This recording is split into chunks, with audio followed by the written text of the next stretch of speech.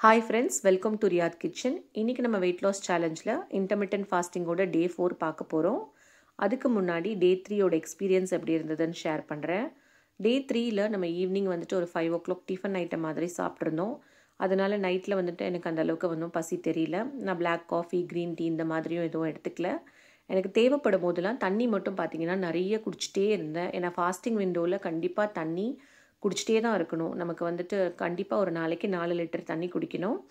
இந்த இன்டர்மிட்டன்ட் ஃபாஸ்டிங்கில் நம்ம வந்துட்டு எட்டு மணி நேரம் சாப்பிட போகிறோம் பதினாறு மணி நேரம் விரதம் இருக்க போகிறோம் நம்ம இன்டர்மிட்டன்ட் ஃபாஸ்டிங்கோட டைமிங் பார்த்தீங்கன்னா காலையில் நைன் டு ஃபைவ் ஸோ இப்போ காலையில் நைன் ஓ கிளாக் நான் என்ன எடுத்துக்கிறேன்னு பார்த்தீங்கன்னா ஒரு கப் வந்துட்டு வெள்ளரி ஜூஸ் எடுத்திருக்கேன்.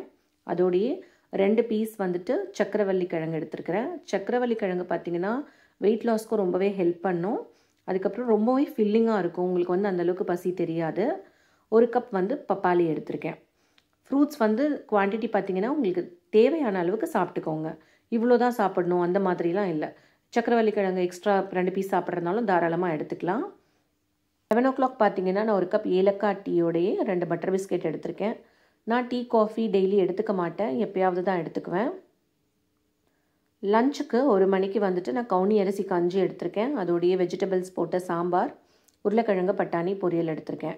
கவுனி அரிசி கஞ்சி பார்த்தீங்கன்னா நான் கொஞ்சம் வேக வச்சுட்டு கொஞ்சம் திக்காகவே வச்சுக்குவேன். ஏன்னா சாம்பாரோட மிக்ஸ் பண்ணி பொரியல்லாம் வச்சு சாப்பிட்டிங்கன்னா சாப்பிட்ட திருப்தி கிடைக்கும். சில பேர் வந்துட்டு கிளாஸில் எடுத்துப்பாங்க. அந்த மாதிரி குடித்தா நமக்கு ஃபில்லிங்காக இருக்காது. நமக்கு சாப்பிட்ட திருப்தி இருக்காது முதல்ல. அதனால் நான் இந்த மாதிரி எடுத்துக்கிட்டேன். கவுனி அரிசி கஞ்சி சாப்பிட்டுட்டு ஒரு ஒன் ஆர் டூ ஹவர்ஸ்லேயே பார்த்தீங்கன்னா உங்களுக்கு நல்லாவே பசிக்கும். கவுனி அரிசி கஞ்சி வந்து வெயிட் லாஸுக்கு ரொம்ப நல்லது. ஆனால் பார்த்திங்கன்னா சீக்கிரம் டைஜஸ்ட் ஆகிடும் நமக்கு வந்து பசி தெரியும். ஆனால் டயட்டில் இருக்கிறவங்க கண்டிப்பாக கவுனி அரிசி கஞ்சியை இன்க்ளூட் பண்ணிக்கோங்க. நைட் இன்க்ளூட் பண்ணிக்கிட்டிங்கன்னா ரொம்பவே நல்லது. நைட்டு நான் வந்து பர்சனலாக பசி தாங்காது எனக்கு. அதனால் நான் நைட்டு அதில் சேர்த்துக்கல. வழக்கம் போல் சாப்பிட்டு ஒரு இருபது நிமிஷம் கழித்து நான் ஒரு கப் ஜீரக தண்ணி எடுத்திருக்கேன். மூணு மணிக்கு பார்த்தீங்கன்னா நான் வந்துட்டு ஒரு கப் மாதுளை ஜூஸ் எடுத்திருக்கேன். மாதுளை ஜூஸ் போடும்போது பால் சேர்த்துருக்கேன். அதோடைய தேனும் சேர்த்துருக்கேன். ஏன்னா நம்ம ஈட்டிங் விண்டோவில் எந்த ஸ்வீட்டர் வேணாலும் சேர்த்துக்கலாம். சுகரை தவிர்த்து.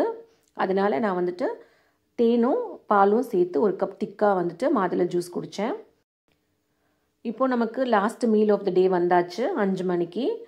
மூணு மணிக்கு பார்த்தீங்கன்னா நம்ம மாதுளை ஜூஸ் திக்காக குடிச்சிருந்தேன். அதனால எனக்கு பார்த்தீங்கன்னா ஃபைவ் ஓ கிளாக் பசிக்கல. ஆனால் இந்த டைமை நான் ஸ்கிப் பண்ணாலும் நைட்டு பார்த்தீங்கன்னா கண்டிப்பாக பசிக்கும். அதனால நான் வந்துட்டு ரெண்டு இட்லி எடுத்திருக்கேன். அதோடையே என்னோடய ஃபேவரட்டான காரா பூந்தி குருமாவோட எடுத்திருக்கேன். இதோட பார்த்தீங்கன்னா என்னோடய டே ஃபோர் முடிஞ்சிருச்சு.